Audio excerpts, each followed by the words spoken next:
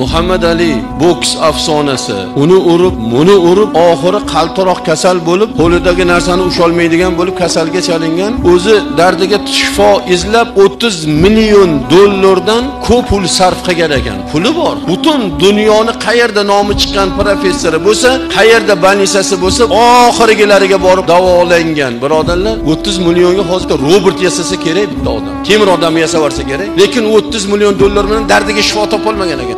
Islomni qabul qildi-yu musulmon bo'ldi-yu musulmon sifatida ro'zani tutdi.